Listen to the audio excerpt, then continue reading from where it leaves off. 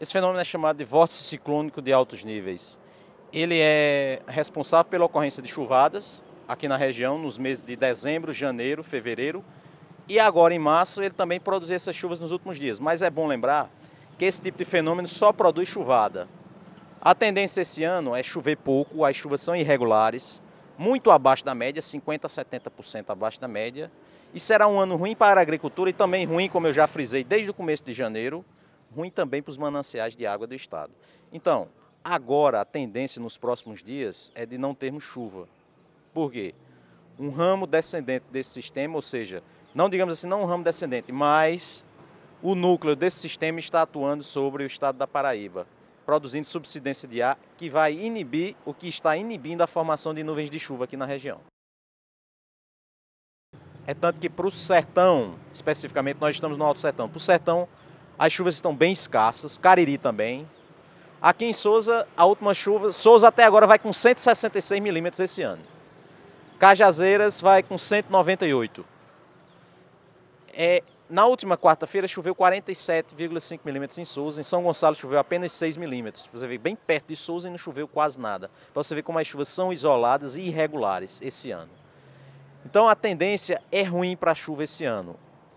Deve chover em Souza, dentro do período de fevereiro a maio, entre, na minha previsão, entre 240 e 400 milímetros. Em Cajazeiras deve chover entre 270 e 450 milímetros. Lembrando que a média de chuvas anual para Souza é 800 milímetros. Na minha previsão deve chover entre 240 e 400.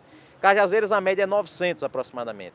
Deve chover entre 270 e 450 milímetros apenas esse ano. Quer dizer, um ano fraco de inverno nós teremos pela frente. Infelizmente, é essa notícia que a gente tem que passar para a população. Uma boa alternativa aqui para a região também, conforme eu frisei, é a construção de poços de alta profundidade, que vão realmente desafogar essa situação difícil que a população se encontra, que a cidade de Souza se encontra com 65 mil habitantes. O açude de São Gonçalo atualmente tem apenas 25% de sua capacidade, está apenas um, um quarto de sua capacidade. São Gonçalo estava com 24%, 24,4%. Depois das chuvas agora, São Gonçalo está com 25,2% aproximadamente. Quer dizer, ganhou pouca coisa. O armazenamento de chuvas, conforme vem frisando em janeiro, esse ano, é pequeno.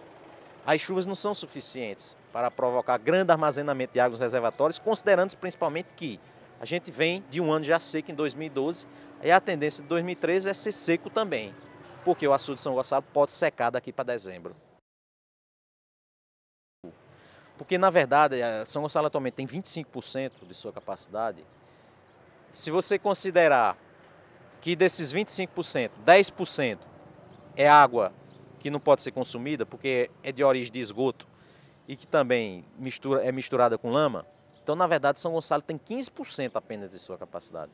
Porque os outros 10% da água dificilmente dá para ser retirada e dá para ser aproveitada, porque é lama misturada com dejetos. E nós sabemos que os esgotos de Marisópolis, eles estão desaguando, e passou isso no JPB hoje, dentro, da, dentro do açude de São Gonçalo, que é um absurdo. O recado que eu dei para os amigos agricultores é que, diante de todas as dificuldades e da falta de incentivo, eles não plantassem esse ano. Você só deve plantar esse ano se tiver condições de irrigar. E a gente vem de uma seca forte em 2012, então ninguém tem condição de irrigar. E por que não plantar esse ano? Porque nós não teremos inverno regular. Nós teremos apenas chuvadas, como aconteceu agora em março, como aconteceu em fevereiro, como aconteceu em janeiro. Um ano irregular como esse, de pouca chuva, é péssimo para a agricultura. E por que isso? Porque o Oceano Atlântico Sul, na altura da costa nordeste, não esquentou. Quando ele não esquenta, o ano é de seca forte aqui na região. Não chove bem aqui na região. O saldo disso é o quê? Uma seca forte que é ruim para os mananciais e ruim para a prática da agricultura na região e também para a pastagem. É bom dizer que as pastagens esse ano não serão boas por conta da irregularidade e escassez das chuvas.